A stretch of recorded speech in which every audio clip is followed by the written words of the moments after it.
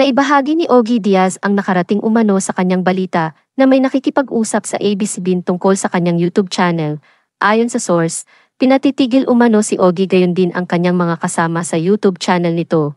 Ito ay kaugnay umano sa napapabalitang hiwalayan ng Katniel na minsang naibahagi rin sa YouTube channel ni Ogie. Gayunpaman, wala pang natatanggap na tawag si OG mula sa management ng ABS-CBN ukol dito.